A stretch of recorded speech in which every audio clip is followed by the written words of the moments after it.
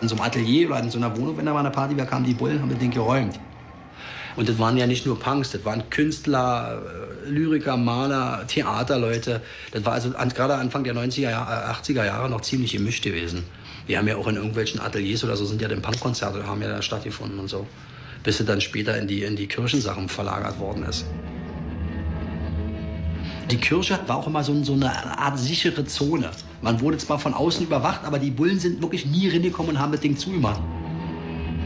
Die haben so eine Jugenddiakone, die sozusagen so eine Jugendarbeit gemacht haben von der evangelischen Kirche. Und die haben, sagen wir mal, Außenseiter Jugendlichen ihre Räume zur Verfügung gestellt, dass die sich dort sozusagen entfalten konnten. Zum Anfang waren sie sich nicht darüber bewusst, auf was die sich da einlassen, wenn die uns darin holen. Und da gab es dann auch Möglichkeiten, dass dann mal Bands und so vor, größerem Publikum spielen konnten und so. Berlin, Erlöser, Bluesmesse, und irgendwie sprach sich rum, da können wir auch spielen.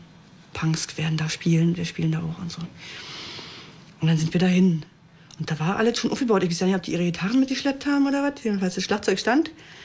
Und also da erinnere ich mich noch sehr genau, dass ich hinter diesen Trommeln da rumrockte und dann flogen die Steine, bam, bam, bam, und auch mit aufs Schlagzeug rauf. Dann dachte ich, ist ja geil. So war doch bei Sex Pistols auch. Da sind da auch erstmal die Flaschen geflogen und so. Und dann wurde da auch tierisch gepokt. Da waren ja auch ganz viele Punks dran da, die dann die ganzen, alle an die Wand gedrückt haben. Also die waren freien draußen irgendwie in die Büsche. Und dann da rumgemacht haben. Und am Rand standen dann die besoffenen Hippies und haben dann irgendwie ihre Flaschen geschmissen oder was.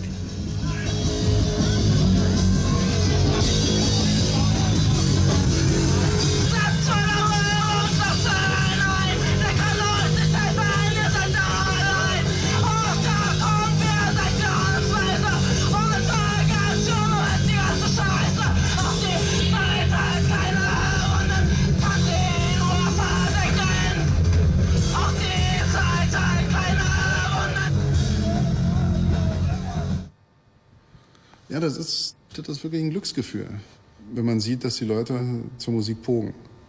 Ja, unser, unser erstes Konzert, das war für mich irgendwie schon das Allergrößte. An der Stelle hätte das letztendlich vorbei sein können, weil da hatte sich sozusagen alles äh, auf einen Punkt äh, auch eingelöst. In Leipzig haben wir in der Kirche ab und zu gespielt, aber auch äh, äh, in Studentenclubs oder zu Ausstellungseröffnungen von irgendwelchen Künstlern haben wir ab und zu gespielt. Jede Tour war ein Riesenhighlight, weil wir mit einem riesen Mob losfuhren, äh, uns irgendwie in die jeweilige Stadt durchschlugen. Und das war was, was man jeden Tag neu entdeckt hat. Da kam jeden Tag was Neues dazu, eine neue Band, ein neues Outfit. Äh, äh, es hat sich so immer weiterentwickelt. Das war nicht schon fertig. Ne? Es war, das war richtig was, was in, in Bewegung war. Das waren ja elendlange Touren, irgendwie nach Karl-Marx-Stadt von Berlin und wieder zurück. Ja, in so einem versifften Reichsbahnwaggon. Halle war noch ganz wichtig, Friedenskirche Halle. Also wenn Friedenskirche Halle angesagt war, das war schon ein richtiger fester Termin. Da sind alle Leipziger hin, da sind die Berliner hin, da sind die Dresdner hin, dann haben sich alle getroffen. Das ging so weit, dass die Stasi dann ganze Züge zurückgeschickt hat von Leuten irgendwie, wo sie gesehen hat, dass Punks sind. Ich wohne dort, wo die Schizophrenie regiert. Dort, wo dich jeder Spießer anschmiert.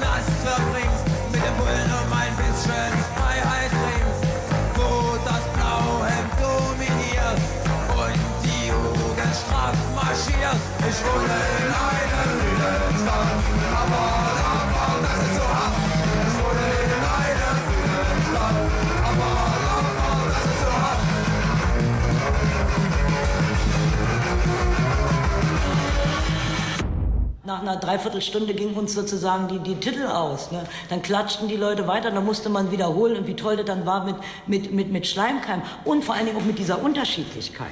Aber die fand ich toll, also das war so was ganz anderes. Ne? Und da merkte man, die waren jünger, die wollen was anderes und das, wie ich sage, der wollte also der hat Schlagzeug gespielt, als wenn er ein Schwein schlachten will. Ne? Also da war, kam eine ganz andere Energie rüber. Das waren ja aber auch keine Künstler, das waren selber ja Schlachthofarbeiter. Das heißt, die, die brachten was ganz anderes in diesen Punk rein, als wir, die im Grunde genommen ja an der Akademie studiert hatten.